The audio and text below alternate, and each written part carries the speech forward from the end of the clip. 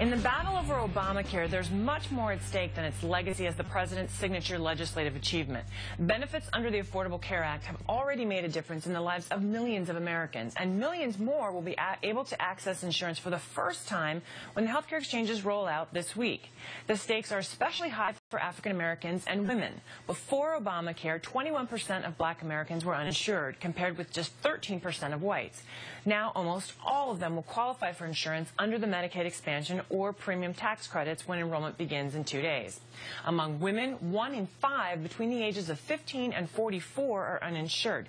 That's 21% of women of reproductive age who will be able to get coverage through the healthcare exchanges. That includes contraception serv services for pregnant and nursing moms and screening for cervical cancer and mammograms.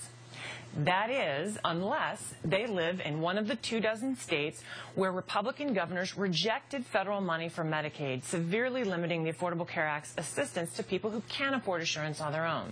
Enrollment kicks off this week regardless of a government shutdown. So now it all comes down to countering the right's massive misinformation campaign and getting Americans to participate. With me now to discuss, Congresswoman Gwen Moore, Democrat from Wisconsin, and Perry Bacon, political editor of The Grio. Thanks to you both both for joining me. Oh, thanks for having me. so, uh, Congresswoman, I actually want to start with you. Uh, you know, given the, the dramatic events uh, over the last 24 hours, I mean, in spite of what we saw last night on the House floor, this, the health care reform legislation, it is settled law. It is moving forward. And on Tuesday, people are going to be able to start signing up. Karen, the train is pulled out of the station despite uh, all of the efforts and particularly the efforts of folk like my own governor in Wisconsin um, uh, Governor Scott Walker, uh, who has the greatest number of people who are going to be uninsured uh, because he has refused any federal dollars um, to insure people. But the train has already moved out of the station, as you've mentioned before. Uh, we've seen uh, 360,000 small businesses take advantage of this. As you mentioned in your opening, um, the women have benefited tremendously from their situations uh, not being regarded, uh, being female not being regarded as a pre-existing condition. Right. That's you know, one of my favorites, I have to tell you. Right, right. I mean, if you're a victim of domestic violence, I mean, even that's seen as a pre-existing condition. You know, women had to pay 50% more for health care because of gender rating. All of that is over. Right. Uh, and despite what the Republicans have done, even if we uh, are to have a shutdown, um, uh, the, the, Medicare benefits uh, to seniors, the Medicaid benefits to the poorest Americans, right. which of course are African Americans and women in particular, are going to be rolled out despite uh, any government shutdown. You know, I want to go back to this point uh, about those what happens to people in those states where they may, their governor perhaps did not take uh, the money. Perry, you actually wrote about this this week, and you, uh, I'm going to quote you. You wrote, "A block of about two dozen Republican governors, mostly in the West and South, are not only still opposing the law, but meaningfully disrupting Obamacare in a way that Republicans in Washington simply can't. Most notably." by refusing to expand their Medicaid programs as the law calls for. And I know specifically you talked about what's happening in Texas, but tell us a little bit more about that. So Karen, under the law, basically there's two ways to get insurance. One of them is through these subsidies, where basically you get cheaper insurance through these exchanges way is through your Medicaid program. But the Supreme Court last year said states don't choose, can choose whether or not to expand their Medicaid programs. And basically, this became, became like a test of who doesn't like Obama. And, right. and, and, governors who don't like Obama decided, no, no, I do not want that Medicaid money. And they were uh, uh, under a lot of pressure, to be fair, from Tea Party activists in their states not to accept it. So a state like Texas, you have about, you have about 2 million people who qualify for Medicaid under the law, but would not qualify for the subsidies under the law. Right. So you might see next a situation where people who are the most low income in a state like Texas or Wisconsin or Florida can't get insurance while people who make more money than they do can get subsidized insurance. Very unusual situation. And it's because of this political divide under the law. To just add one more point here. Sure. One of the reasons, one of the things understood in this debate is the fact that minorities and people under 35 are disproportionately uninsured, versus older Right. Americans have a health care program for the government already. It's called Medicare.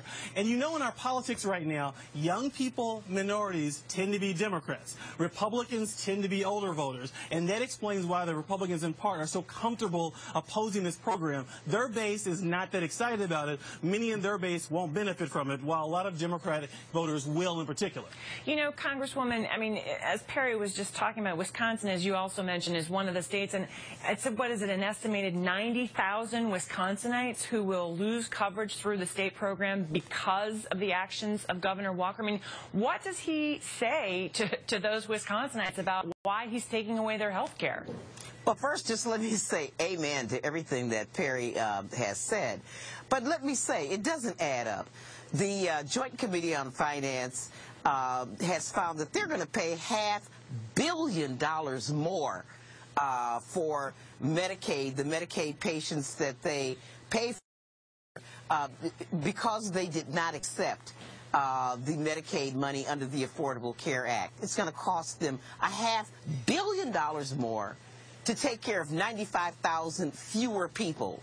It just doesn't add up. Right. Uh, it's all ideological. Scott Walker perceives himself uh, as a future presidential candidate, um, and he wants to be ideologically pure. And it's a shame because Wisconsin has had one of the most stellar rollouts of health care coverage under, ironically, Republican governors like former Health and Human uh, Services Secretary Tommy Thompson. We had a model Badger Care program um, that took care of uh, of adults uh, through med- through the Medicaid program. Congresswoman, very quickly, I wanted to just mention one of the measures that we saw kind of thrown last night. I feel like women get thrown under the bus when push comes to shove. Uh, was uh, this amendment, this idea that uh, to delay access to birth control services for women as part of this battle over the CR. And as you pointed out, I mean, actually being a woman is no longer a pre-existing condition. But why is it that time and time again it's women's rights that again seem to be thrown under the bus when it's like, hey, we're just going to throw in the kitchen sink of all the stuff we want? And that's the question I want to throw back to your audience because over half of the electorate are women. Women are the majority of the electorate. And Karen, they need to pay attention. Uh, every single battle, women are made the battleground in every one of these fights. Uh, and our you know, while there might be legitimate debate over many, many things, I thought uh, birth control was sort of settled law, that we had a right to uh, control our reproductive um, Right. uh, health. Well, Uh, and apparently so- we apparently we don't, and they keep saying you know they don't want government to get in the way of your health care, but only if you're. Then apparently they have no problem doing so. Thank you to Congresswoman Gwen Moore and Perry Bacon. Thank you so much. Women and minorities have so much uh, to gain from this bill. They need to sign up immediately.